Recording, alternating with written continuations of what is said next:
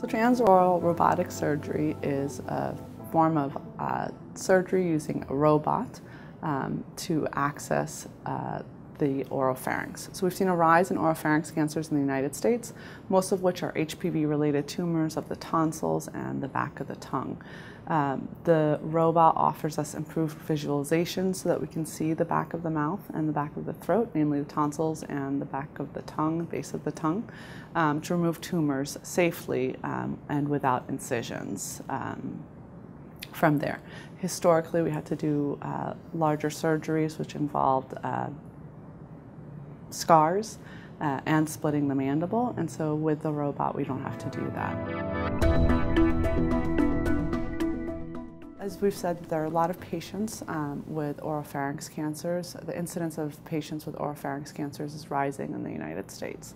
Um, we know that these patients, um, the majority of them are HPV positive. Um, and so based on work that we've done here, we've shown that HPV positive patients have better um, survival than HPV negative patients. So that means that they're living longer um, and living longer with the sequelae of uh, treatment. So in an effort to reduce the, um, the sequelae of treatment, um, mainly from radiation and chemotherapy, we're trying to um, uh, use surgery up front um, so we can reduce uh, the amount of radiation that's given to these patients or reduce um, uh, chemotherapy. Um, so patients with small tumors of the tonsil or the back of the tongue who are HPV positive are really the ideal patients um, for this uh, for TORS. So the benefits of TORS are that we can pathologically stage a tumor. So uh, when a patient comes in and we don't have pathology, meaning we haven't removed the tumor, we can um, give them a clinical stage based on our examination and imaging studies.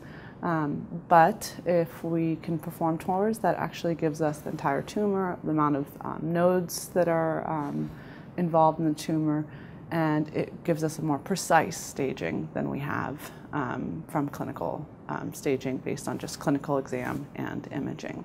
Um, the other benefit of TORS is that we can potentially um, provide a patient with just two modalities, surgery and radiation, in some cases surgery alone, and, um, and not have to provide chemotherapy in addition to that. Um, in addition, we can sometimes reduce the dose of radiation after surgery. The recovery time, if we think about just doing the TORS part, which is um, a big tonsillectomy, um, is really up to three weeks. For adults, a tonsillectomy or even a lingual tonsillectomy, which is removing the uh, tonsils in the back of the tongue, is really painful. Um, and so uh, we counsel patients that it's going to take about three weeks until they're pain-free. Um, it's very similar to a tonsillectomy when a kid uh, undergoes it. Um, the other component of the surgery usually is a neck dissection, removal of lymph nodes from the neck. Um, that's a much quicker recovery. Um, patients generally leave the hospital the next day, um, and a drain is removed within a week. So the benefit of coming to Johns Hopkins is that we offer multidisciplinary care. We make a decision, uh, a recommendation to patients before uh, surgery, whether or not we think that they're a good surgical candidate. Um, the radiation oncologist, the medical oncologist, and the, um, the, group of surgeons all help make that recommendation um, for patients. Speech language pathologists are involved um, preoperatively. Um, so uh, the multidisciplinary nature of it, I think, is a huge benefit.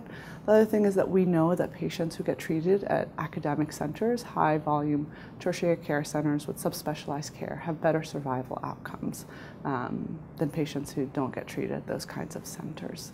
Um, the other uh, reason is that we offer clinical trials uh, based on uh, robotic surgery. And so patients would be eligible for TORS trials as well as other clinical trials in conjunction with those trials.